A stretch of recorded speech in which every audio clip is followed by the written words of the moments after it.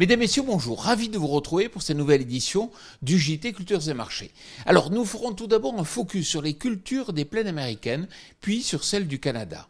Nous reviendrons sur la faible performance des exportations françaises de blé avant de faire un point sur la trituration du soja aux États-Unis, qui est toujours très dynamique. Aux États-Unis, certes, le maïs a dépassé la phase critique de la floraison, mais les inquiétudes demeurent.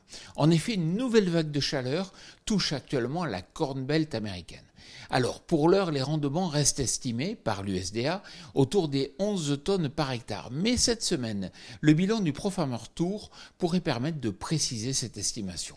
Par ailleurs, attention, la solde de maïs pourrait être revue à la hausse compliquer la situation au Canada. En plus des dramatiques incendies de forêt, les cultures canadiennes sont pénalisées depuis plusieurs mois par un important déficit hydrique. Où en est-on? Les récoltes débutent tout juste dans le Saskatchewan, la principale zone de production.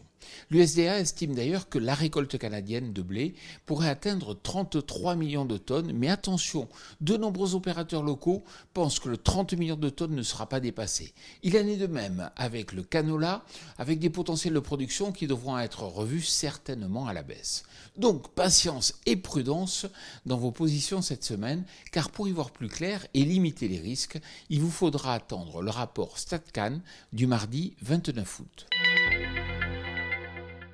Je vous le rappelle souvent, depuis le début de la campagne, les exportations françaises de blé sont très faibles. Pourquoi? Parce que les stocks de blé russe étaient abondants et leur offre très compétitive. Mais attention, cela pourrait changer, car nous regagnons en compétitivité et la logistique commence à s'enrayer en région mer Noire, même si quelques convois semblent arriver à passer au travers de nombreuses incertitudes.